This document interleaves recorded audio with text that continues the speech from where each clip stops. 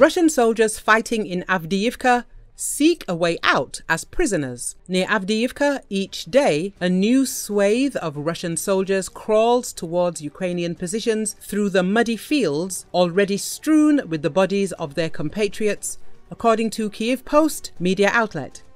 It is noted that, meanwhile, Russian artillery is diligently wiping the city off the face of the earth.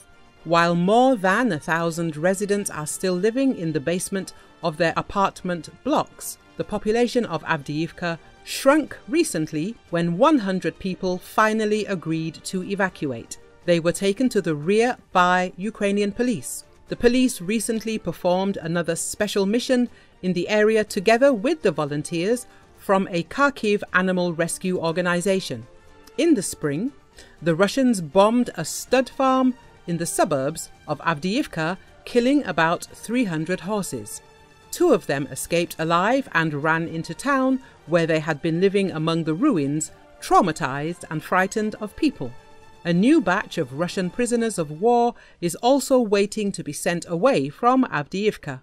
They are easier to transport than horses, but first, those who are wounded undergo a series of interrogations to determine whether that soldier has committed any war crimes. After the verification process, a long journey of several days awaits the prisoners. It usually ends in western Ukraine at the only functioning prisoner of war camp Zapad 1, where some commentators say life is a little too comfortable.